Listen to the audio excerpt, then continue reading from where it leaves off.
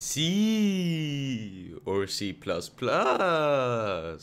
What is harder? Both C and C++ can be felt as harder to learn depending on the person, but in short C++ is often considered a harder one to learn. Okay, if you just wanted the answer, you can leave now. But if you want to know why, then you know, stick around. Uh-huh. C is one of the least complex languages. It is very straightforward and is a more direct approach to the problem than C++.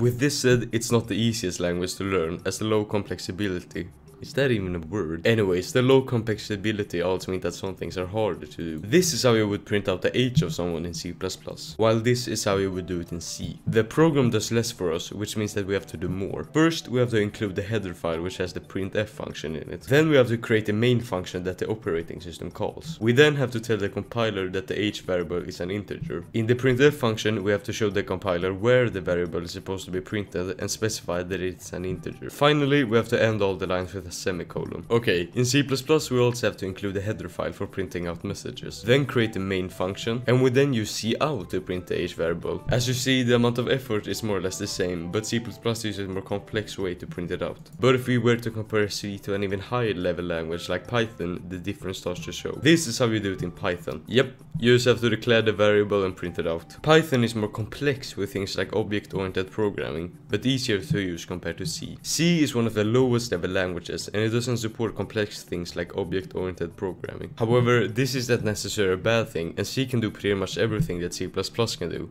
but it requires more complex solutions. So it may be harder to use C because of the lack of some high level features, but it is also easier to learn because of the lack of it. C++ is easier to use in a lot of cases, but you first have to learn the complex things before you use them. Okay, so that is why C might be harder to learn and use in some cases. But why is C++ harder to learn compared to C? C++ is an extension of C. C++ supports pretty much everything that C does, but with more added to it. As the name suggests, C++ is just C with a bit more added to it. Do, do you get it? It's a C and then plus plus, which means that it's more. Yeah, yeah.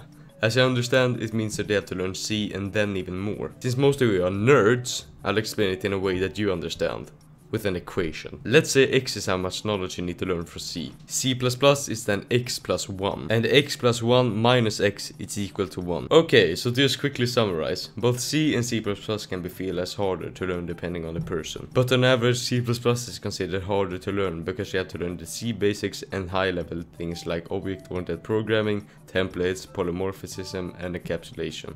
Okay, so that was the video. Now there's only one thing left to do. Subscribe.